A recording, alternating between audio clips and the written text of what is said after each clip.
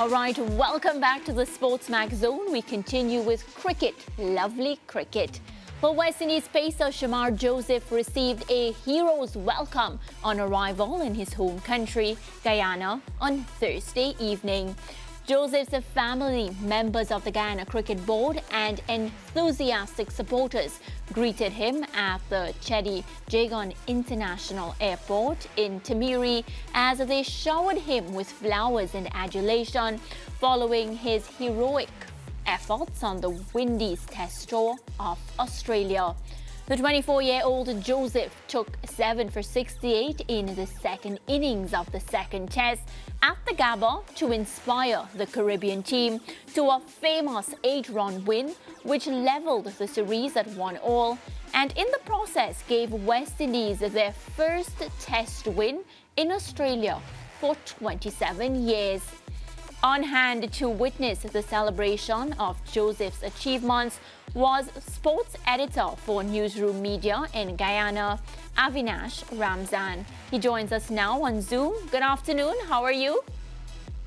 Good afternoon, Maria. Good afternoon to all listening, as well as Lance and um, Ricardo. I'm doing well on top of the world.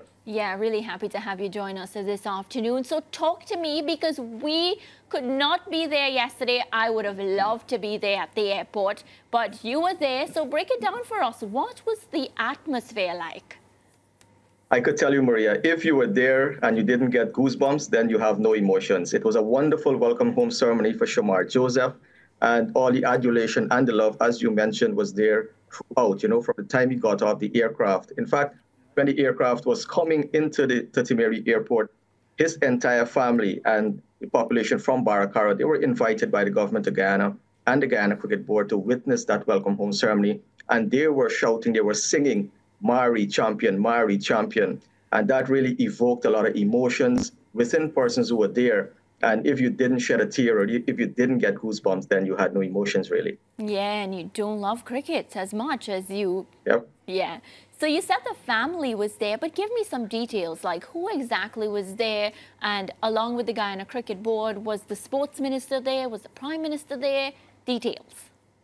Good. So the Minister of Culture, Youth and Sport, Charles Ramson Jr., the Director of Sport, Steve Ninvalle, the President of the Guyana Cricket Board, Bissoondyal Singh, who happens to be a Director of CWI as well, they were there to receive Shamar and of course his family from Baracara. We have heard so much stories about Baracara and the whole unity and the camaraderie with the people uh, from Baracara was on show there, as you see on the screen here now. That's his brother lifting Shamar and Shamar's son, and that was as he exited the, the aircraft and was making his way to that uh, the the ceremony itself. But um, wonderful atmosphere there. Shamar made his way. He seemed a bit tired, and, unexpectedly so, uh, having that long travel back from Australia. His parents, you know, they, they, they shed a few tears. And I think Shamar held it up well because of the fact what I noticed, he didn't look at them directly. You know, he was trying to be tough. He knew the emotions that surrounds his return. And, you know, he held it up well. But all in all, a wonderful ceremony, wonderful welcome back for a guy who left Guyana with lots of promise, lots of expectations. And you know what, Mariah? He came back as a superstar. Yeah, Avinash, you know, this is one of the things that we love about sport. Um, this is the kind of story that we live for because um, a few months ago, Shamar Joseph would have never anticipated in his wildest dreams um, what has happened in the past weeks in, in, in Australia. And it is tremendous for him to embrace and being embraced by the Guyanese public in, in this way. Uh, what, in your opinion, was the most was the most moving part of yesterday's homecoming for him? I think for him is to be reunited with his children and his family. Um, as soon as he came off the aircraft and was making his way towards the, the area where the ceremony was held, the first thing he did was grab his son, you know, kissed him on the cheek, kissed the other one on the cheek as well. And that for me showed how much he missed his family and his children.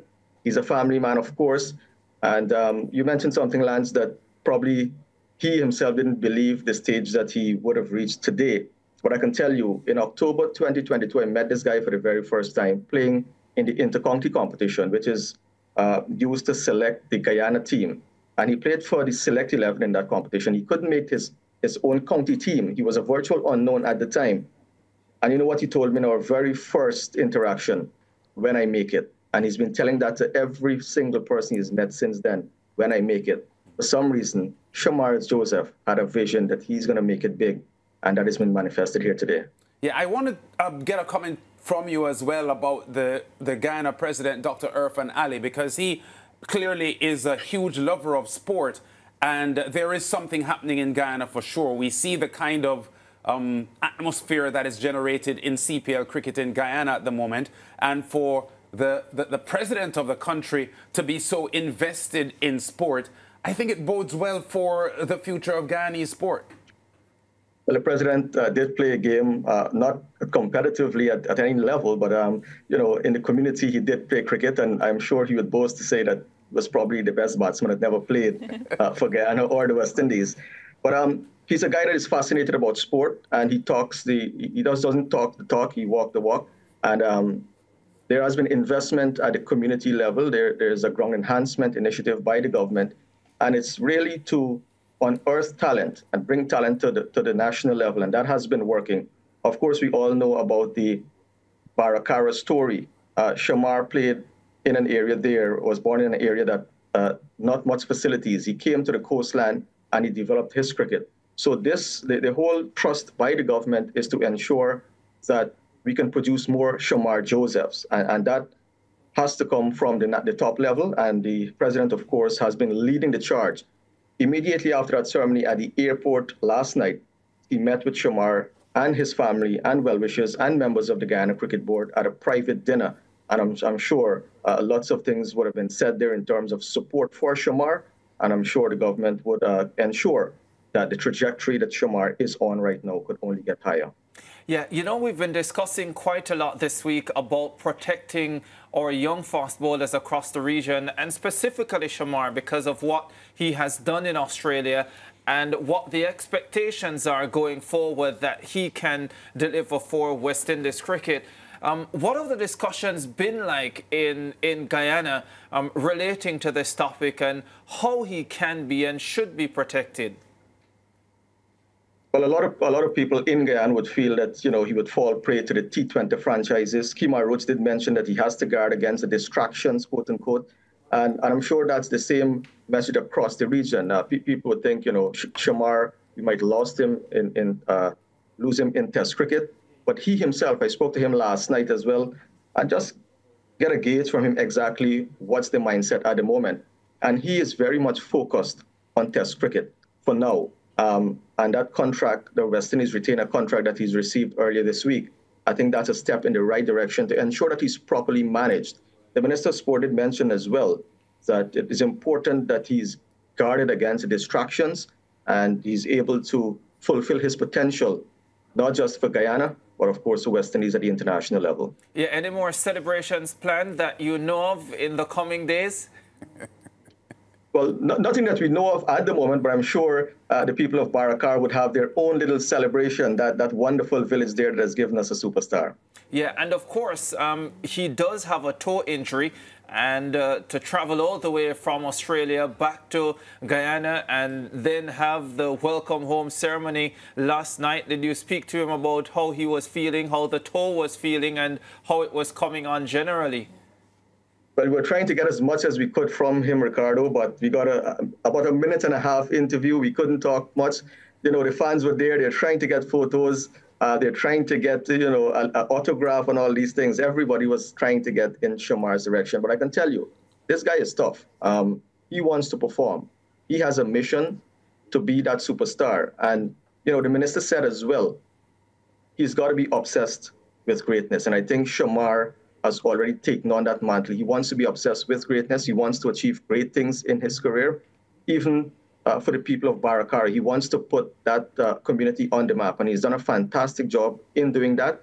And it's all because of his mental toughness, his physical toughness. He's a fit guy, and he's showed the world what the people of Baracara can really do. Yeah, and can you give us um, a summary of what Shamar had to say, his own address um, to those in attendance last night?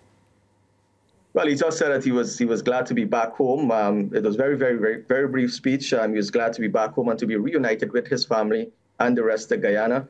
And you know, he was very excited to be part of that Test series win, uh, the, the draw, sorry, and the, the victory in Don't that worry, final it feels test. like a win. I didn't even realize when you said it.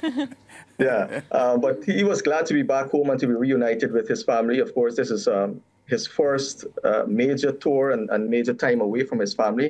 So it's uh, something that he was eager to get back home and be part of the celebration back home as well. Yeah, I also want to get your thoughts quickly. We we had a chat with Ian Bishop on Tuesday, was it, or was it Wednesday? Yeah. Earlier this week, um, and he mentioned a young fast bowler um, in Guyana as well. I'm, I'm trying to remember the name as I speak to you.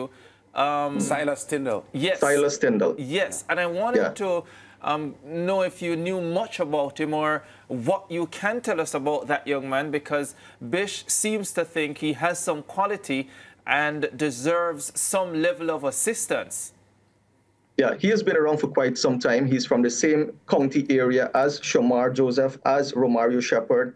Um, he's a wonderful young talent. Um, there was the Guyana Harpy Eagles matches that were held recently to select the team. He was part of one of the squads. Um, however, he picked up an injury and could not um, uh, showcase his skill. But he's one for the future for sure. And with good management, I'm sure that he could go on to achieve a lot of great things for Guyana and for West Indies cricket. Um, some would say that he's down the pecking order because of the, the availability of the senior guys, but um, once he's given that opportunity to hone his skills, he's certainly one for the future. Yeah, and I guess we run the risk of always looking for the next Shamar Joseph now, um, the Yes. next diamond in the rough. But um, if this kid could be it, then maybe there needs to be some level of intervention, get him fit, get him healthy, and let's see what he's able to deliver. Yeah, we saw what Shamar did in Australia there, and that really revived West Indies cricket on so many levels. You know, people are becoming passionate again about West Indies cricket. In Guyana here, for example, you know, everybody, every single body, from the youngest child to the oldest man, is talking about Shamar Joseph. And, you know, years down the line, we could see so many young Shamars coming out of Guyana. Yeah, a lot of things to celebrate in Guyana. I spoke to the GCB Cricket Operations Officer, Anthony Dianrad, and I was telling him, I need to make a trip to Guyana soon because I need Yeah. to see what y'all are feeding these cricketers because things have been looking really up, Avinash. Yeah, and, and talking about feeding the players, if you notice, and I mean, the world has noticed how fit Shamar is. And it's important that from here on, he doesn't get carried away. Yeah. Continue to work on his fitness and continue to eat the stuff that he has been eating. Of course, Baracara is a farming community, and these guys eat healthy. You don't want a situation where you lax with your fitness and then it affects your game. Yeah. Um, we know all the troubles we have with players across the region not being fit. Shamar Joseph consistently has done over 40, late 40s, sometime uh, early 50s on the yo-yo test. He's extremely fit, and one would just hope that he continues along this path, continue to train and continue to eat and look after his nutrition. And we know very well that he's going to be invited to a lot of fancy dinners in the next few weeks and months. So, yeah, that is very good advice. Avinash, Yeah. we- we, Yes, go ahead. yeah, we want to thank you so much for stopping by on the Sports problem. Zone. Keep up the good work, and we'll talk again really soon. Thank you very much for having me. Take care. Lance, quickly, were you in Jamaica in 2008? No, I wasn't. No, you not, weren't. Not during the Olympics, obviously. So what is happening here with Shamar Joseph, right? Yes. Reminds me of 2008. Yes. Why am I asking if you were in Jamaica? Of course you were not. You were in Beijing. Sorry. I, I, I was home in November, though. yeah. I was home in November, But, yeah. but it reminds me of what it was like in Jamaica Yes. when the black, green, and gold dominated at the Beijing Olympic Games with Usain Bolt and um, Shelley Ann. Shelly-Ann Fraser-Pryce and Melaine Melaine Walker. Walker. and Veronica Campbell-Brown and the 4x1 team. And what I am seeing, and Avi spoke about it just now, about the, the reaction and everyone in Guyana passionate again about the game. Yes. Yes, yes. And that's that's the general feeling right across the Caribbean. Yeah. The, everybody's asking about Shamar, Ho, Shamar Joseph. Yes. Everybody wants to now see um, West Indies cricket again. Yeah, well, cricket needs a story like this. Yes. Given what has happened in West Indies cricket West in the past, cricket. West Indies cricket in the Yes. past three decades, Caribbean cricket needs a story like this. And a player like Shamar. Yeah, I, you know, I, I just think that it should trigger a, a sort of rise in the yes. interest and appetite yes. for, for the game. We don't want 1201 to come too quickly, though. 1201? Yes. Or is it midnight?